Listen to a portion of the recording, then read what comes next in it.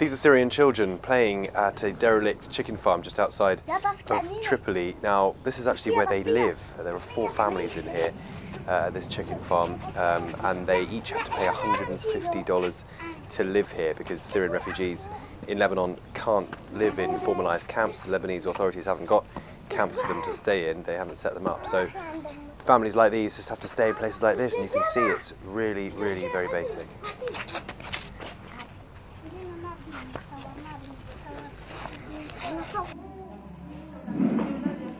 So we're at a community centre in uh, Tripoli in northern Lebanon and these are Syrian refugee women. They've come here to spend time, socialise and as you can see, crochet Christmas decorations.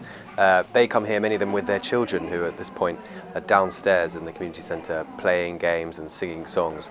It's just a way for people to socialise, try and live normal lives because a lot of these women, the men, they can't work in Lebanon so they've got to find uh, a way to distract themselves.